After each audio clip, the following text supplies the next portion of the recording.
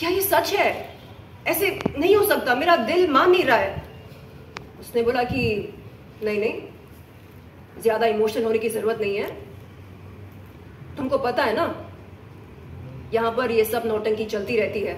मैं डिस्टर्ब हो गई। मैं भावुक हूँ, मैं इमोशनल हूँ। तो मैंने कॉल किया अपनी बहन को। मैंने बोला प्लीज़ मुझे बताओ मैं क्या करूँ? मतलब क्या सोशल मीडिया पर जाकर मैं पोस्ट अपलोड करूँ? Rest in peace Poonam Pandey. या मैं कोई वीडियो बनाऊँ? क्या करूँ मैं? उसने बोला, कुछ मत करो, शांत रहो। ऐसे नहीं, मैं शांत नहीं रह सकती। ये बहुत बड़ी बात है मेरे लिए। उसने बोला, क्या तुमने उसकी डेड बॉडी की फ़ोटो देखी? नहीं देखी ना। तो क्यों मान रही हो कि वो उसका निधन हो गया? ऐसे डरे न्यूज़ चैनल्स दिखा रहे हैं कि पूनम पांडे का निधन हो गया है। और ये झूठी खबर कैसे हो सकती है? और जा रहा है कि पूनम पांडे की बहन ने यह खबर दी है मीडिया को। तो परिवार वाले झूठ क्यों बोलेंगे इस बात को लेकर? तो ये सारी बातें कल हुई। मेरी बहन और मेरे बीच में, मीडिया वाले और मेरे बीच में हम लोग डिस्कशन कर रहे थे कि कैसे हो गया? शूट अपना मैंने होल्ड पर रखा।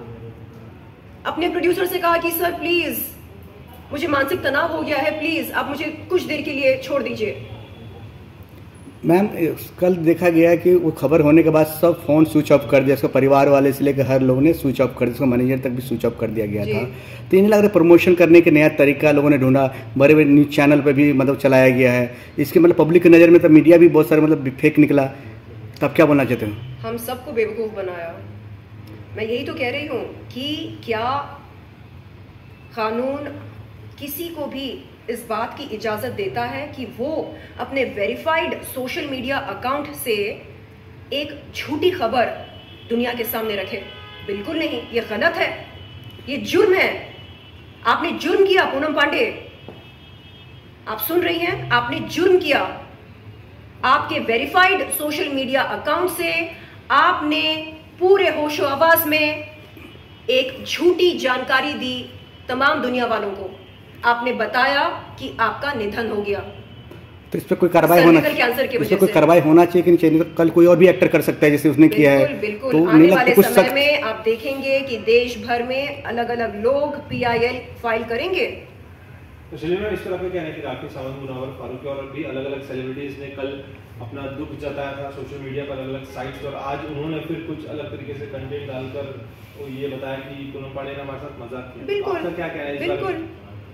अरे, मैं कह रही हूँ ना, हाथ पैर मेरे ऐसे काम रहे थे कल। देखिए, पूनम पांडे मेरी सगी नहीं है, लेकिन हम एक ही इंडस्ट्री के हैं। और जब किसी कलीग का अचानक से निधन होता है तो झटका लगता है। ऐसा लगता है कि, अरे, कैसे? कब?